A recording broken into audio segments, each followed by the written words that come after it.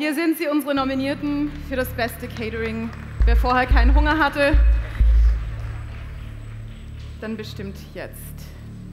Wer nimmt den heiß begehrten goldenen Apfel mit nach Hause? Und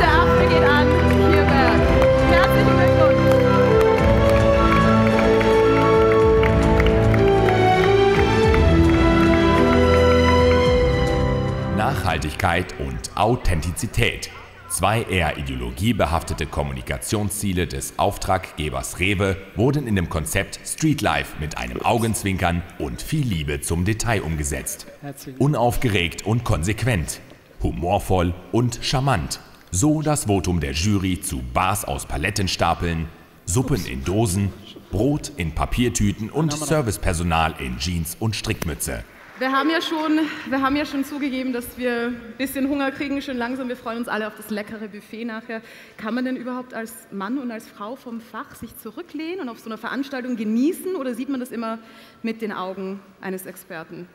Also das lässt sich mit Sicherheit nicht vermeiden, dass man immer mit den Augen eines Experten guckt, aber genießen in jedem Fall. Was ist denn Ihr, äh, Ihre Lieblingskreation von Ihnen selber jetzt? Was würden Sie hier empfehlen? Oh, das, unser Spektrum ist so groß. Wenn ich den ganzen Tag mich in der Küche aufhalten würde, wäre ich wahrscheinlich dreimal so dick. Dann äh, belassen wir es auch dabei. Vielen Dank. Herzlichen Glückwunsch an Sie.